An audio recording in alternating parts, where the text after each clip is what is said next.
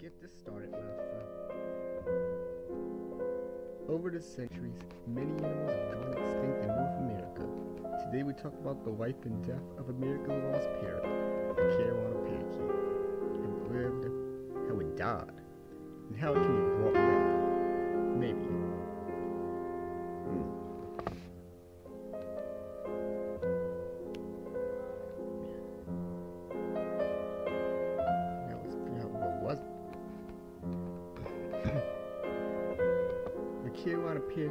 Bird native to eastern and midwestern North America. The Carolina parakeet was perhaps the most unexpected surprise for the colonists of any of the birds living there. The common perception appears as that of a tropical bird, but these parakeets had adapted to winter snows and frigid nights. The only parakeets northernmost of all the. The thick-billed was found in the southwestern U.S. That's for another time. Glossy, bright forest green bird with a yellow head and orange face. It was described as a beautiful bird, among the most brilliantly colored of America's birds. Hatchlings for the first month of their lives were covered in a mouse gray down to 39 to 40 days when green tails and wings appeared. Juveniles were generally all green, with no yellow edges to wings and thighs and lighter underparts. They have an orange stripe arm, the gradual transformation to adult colors, and they reached full adult plumage around 1 to 2 years of age, though some reports say 3. Adult males and females were largely identical in plumage, but males were slightly larger than the females. And according to Audubon, the male's feathers are brighter and more brilliant than those of the female. Two subspecies existed. Western parakeets ranged from the Missouri, Mississippi River drainage south to Texas, eastern Mississippi north to western New the Great Lakes region. Eastern parakeets lived in southern Florida to Virginia. The subspecies had differences, and the differences of the western parakeet are pretty shown here as follows.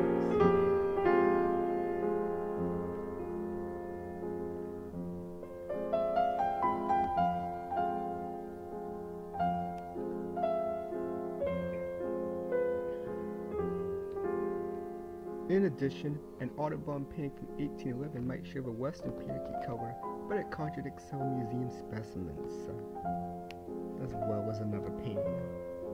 Wild Rackus calls gave away flocks typically ranging between 5 to 200 birds. They had multiple calls, a sharp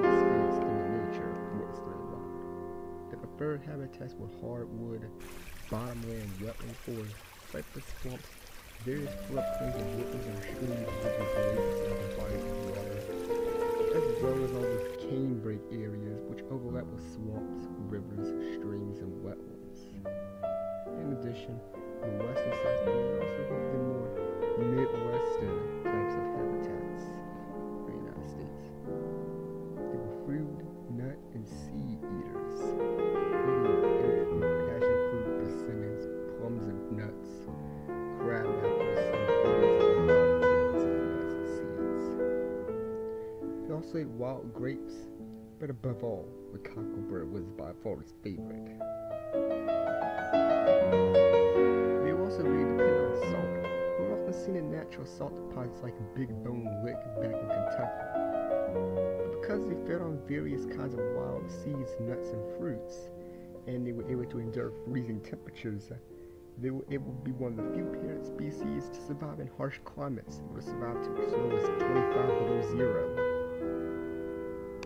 In screaming were observed in snowstorms in Kansas, which goes to show just how adaptable they were. Hollow trees played a very important role in their winter survival. The birds would crowd and huddle together side by side for warmth inside these trees during cold winter spells and snowstorms. It is likely Gulf Coast and Florida populations didn't have the need to do this and huddle up in the winter to the year-round heat. Outside of the winter, these hollow trees were their favorite roosting and sometimes nesting locations. In the early morning, the birds would climb to the top branches of their roosting trees to the accompaniment of much chattering and then fly off to feed for several hours. Their feeding behavior made for quite a natural spectacle. When they saw a fruit or seeding tree, or if they were searching for food, the flock would fly over a wide area, spiraling down until they almost touched the ground, and then turn up to rise up, to right on the branches. The feeding behavior was witnessed by Audubon, who went and made a report about it himself.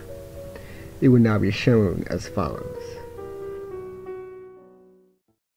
When they get to a place with a rich food supply, they do not immediately land like many other bird species, but first get an overview of the surroundings by flying over them in wide circles, first above the treetop heights, then slowly lower and lower, until they almost touch the ground, in flight, then suddenly rise again and land in the tree that bears the fruit they are looking for.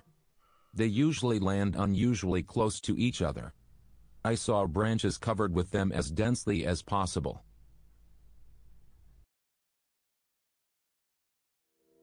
Audubon, who would later paint the most iconic portion of these birds, likened grain-eating flocks to burlap carpets.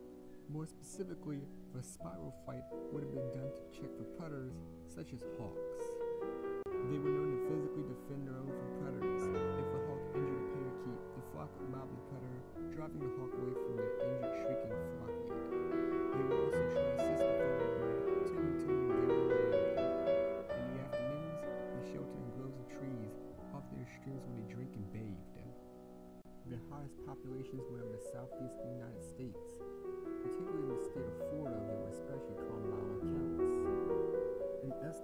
hundreds of thousands may have lived in that state alone.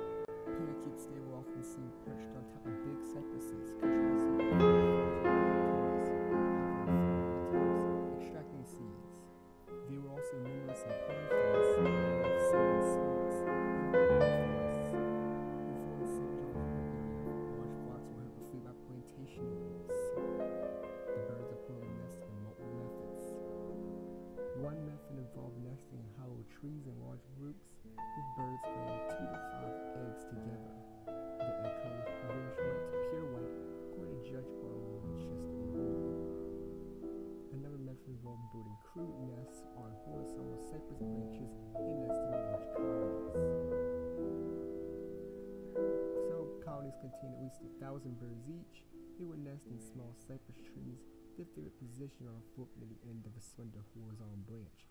Each fork would be occupied and 40 to 50 nests could be counted on the same tree according to Long. This contradicts Audubon's reports and descriptions from the northern part of the parakeet's range, but it fits the other descriptions of other parrot species' behaviors and the following description. These nests resemble that of mourning doves, composed of cypress twigs put together loosely enough that the eggs were often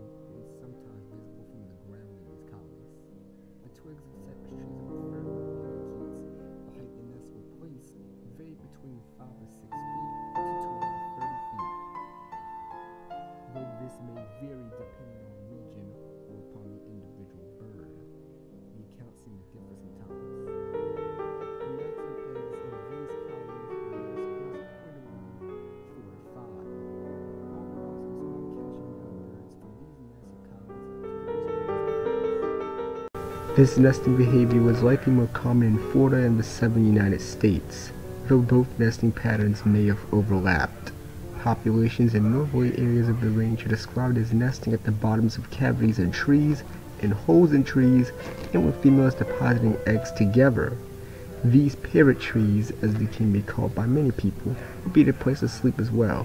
And as mentioned before, it was also possibly crucial to winter survival. The western subspecies may have been partially migratory, though they weren't known to leave the continent. The eastern subspecies is less migratory, and long travel in search of food wasn't as common as in the western subspecies. In Florida, the birds lived year round. In addition, they often suffered parasites and infections. The heads were often particularly infected, and shortly after death, these insects and parasites would shift from the skin all the way to the surface of the feathers, according to John James Audubon. In addition, the adult Carolina parakeet was one of the few birds to be poisonous to eat. The cause of this was due to their favorite food, the cocklebur. Cockleburs are toxic to many animals, including cats, livestock, and humans. For the parakeet, however, it was harmless. Unfortunately for us, the parakeet's flesh would carry the toxin, which can make it potentially poisonous, at least as an adult.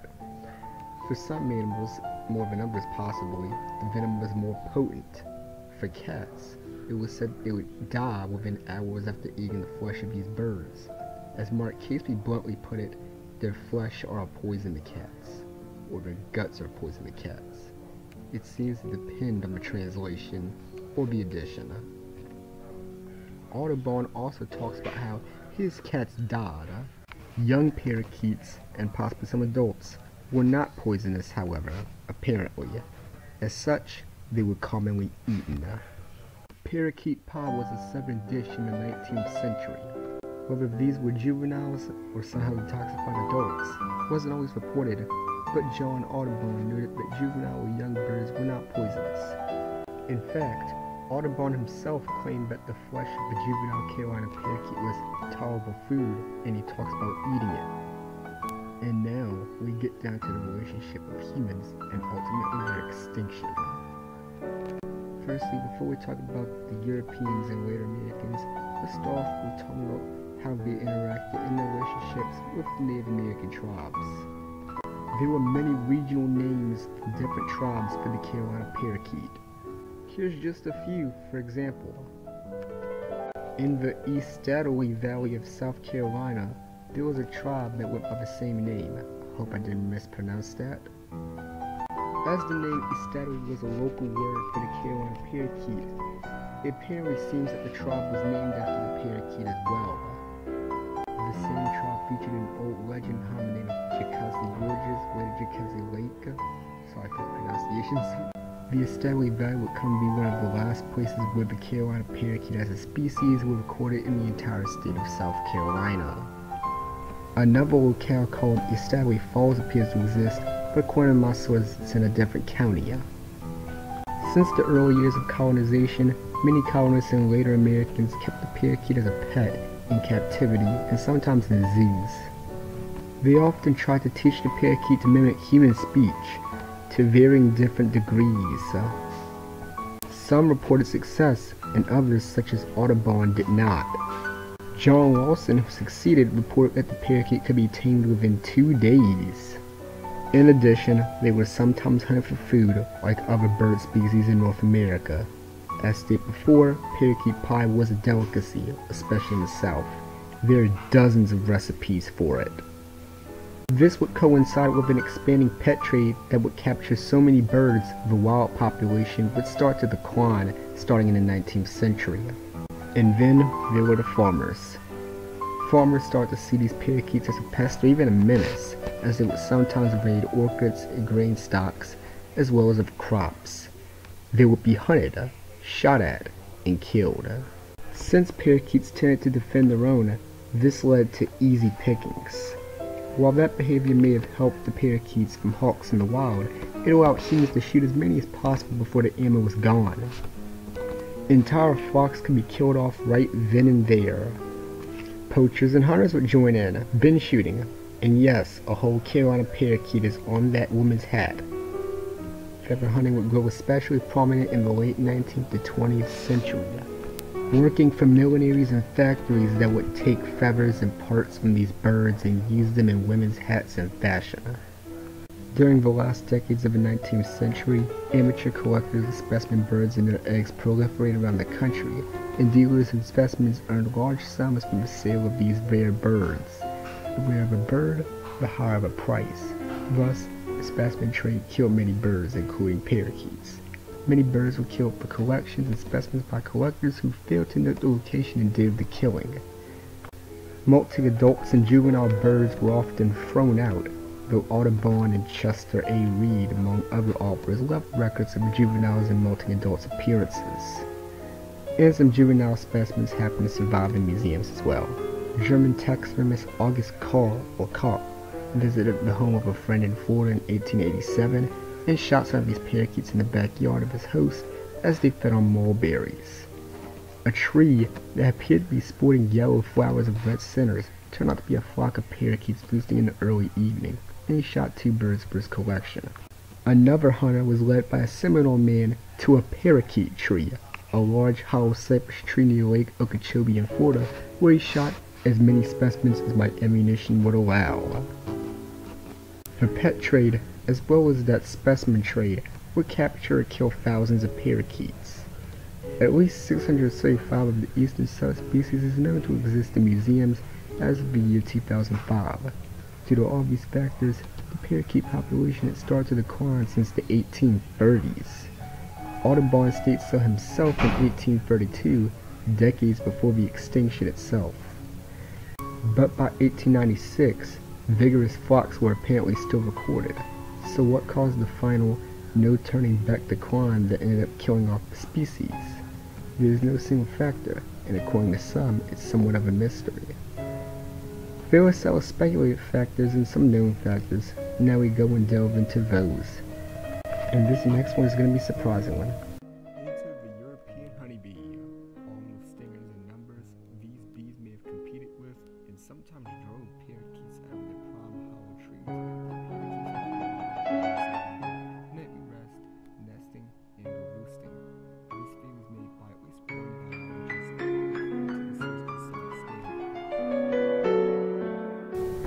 Disease has been suggested as a possibility, but according to other researchers, no historical records exist that appear as being afflicted by any diseases of this kind at the time, however. Around this time, at least some farmers may finally start to tolerate the parakeet, as they were keeping the cocklebur in check, and the cocklebur was a very pervasive weed that sometimes poisoned the livestock.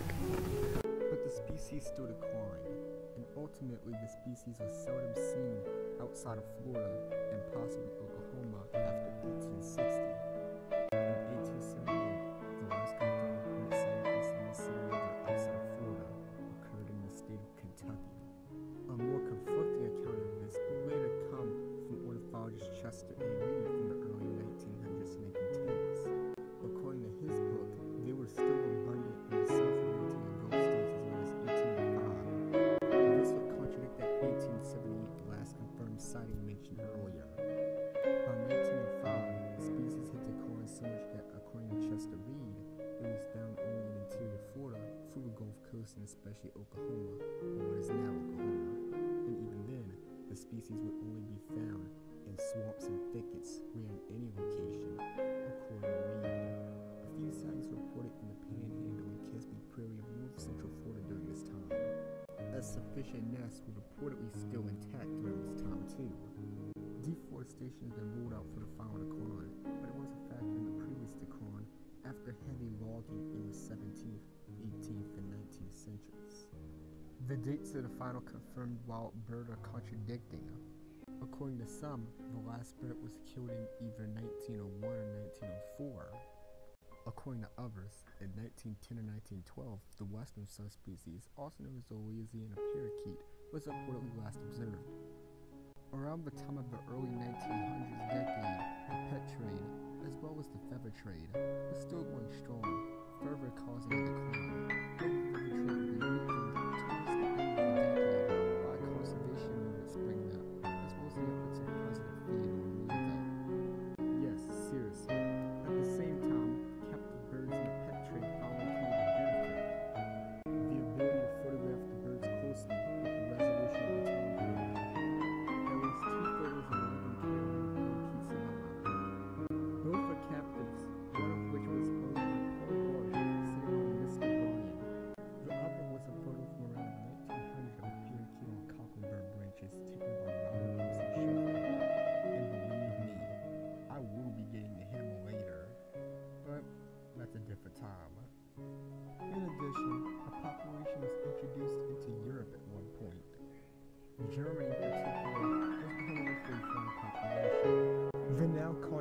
Ornithologist Hans Freiherr von Berlepsch kept the species there after 1874. But these populations were eventually wiped out too. In 1929, he reports on the end of it. One day, it was just on the last Christmas break. Only a few were visible, and the next day everyone was gone. Investigations were unsuccessful. It was only a few decades later that the sad riddle was solved. At a village inn 50 kilometers away, I found a number of smoky remains of Carolina parakeets, and the landlord reported that father blessedly shot these strange birds from the linden tree within two days. He still remembers his story that the others who fell first were floating around again and again and could have been destroyed to the last. So here too a song about the end of this rare bird. Hopefully that's correct. Hopefully Google Translate isn't being a pain again. Ultimately the bird was apparently hunted out there as well. Dr. Marsh's beloved pet Carolina parakeet from earlier, Doodles, who was recognized at the time as one of the last living representatives of the species, died in 1914. Zoos and private collections bred the bird, and some zoos really tried to save the species.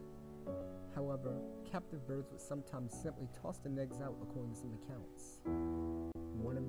Is also an account of the pair in Cincinnati Zoo, the last known captive birds of the species, and reportedly the last known pair of the species known to exist.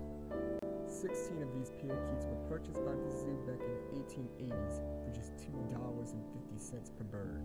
Over the years, the birds laid eggs, but none of them hatched or even incubated, and gradually they died off until was only a pair left, cage mates for 32 years. In the late summer of 1917, the female, Lady Jane, died. The mate, Incas, according to zookeepers, entered a state of depression after losing his mate. The following year, on April 21st, 1918, Incas died after three decades in captivity and several months without his mate. According to the keepers, he had simply died of grief. He had died in the same exact cage that Martha, the last passenger pigeon, died in just four years and six months earlier back in 1914. And this was the last undisputedly confirmed Carolina parakeet to die. It is possible the species survived into the 1920s or 30s. In the locality of Gum Slough, Florida, Charles E. Doe, a future curator for the Florida Museum of Natural History, as well as many residents of the area, attest to nests, eggs, as well as adult birds. He also collected a set of eggs on the Kissimmee Prairie in in 1927, said to be of this parakeet. Whether or not these are really from the parakeet has been a source of controversy since at least the 1930s. In the 1980s and 1990s, Dr. Noel Snyder, a longtime Florida naturalist, searched out many of the longtime residents of the southern part of the Kissimmee Prairie who actually knew Charles Doe and who knew the area intimately. He found the corroborating details provided by these witnesses convincing proof that the eggs were in fact genuine. While no adult specimen was acquired, there is plenty of corroborative evidence in support of their validity. Until the late 1920s, sightings were made in Okeechobee County in the state of Florida, though no specimens were acquired and thus the sightings were deemed as unconfirmed. In 1937, three parakeets resembling this species were sighted and filmed in the Okefenokee swamp of Georgia. However, the American ornithologist who analyzed the film concluded that they had probably flown veiled parakeets.